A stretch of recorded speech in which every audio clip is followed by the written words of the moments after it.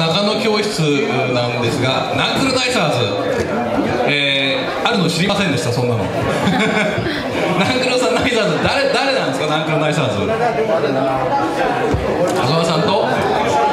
あ上級者コース？あ僕初級者なんで知らないはずですね。はい、えっ、と、リノファーでは、えっ、と、あと、き、あの。上つに分かれておりまして。今回では皆さん、先輩でございます。上級の皆さん。えっ、と、小川さん、梅ちゃん、吉川さん。仲間さんの方々が歌います。とても聞こあの聞き応えのある歌かと思います。皆さんじっくり聞いてみてくださいませ。はい。えーあのご紹介いただきましたナンクルナイサーズで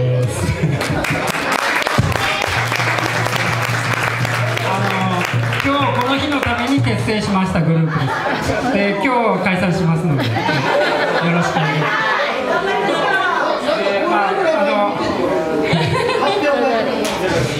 今日今日の気持ちをこのグループ名に込めました。はい、ナンクルなるかなとか。3曲歌わせていただきます。えっと最初が石首切り、えー、鷲田生まれ島、えー、豊か節です。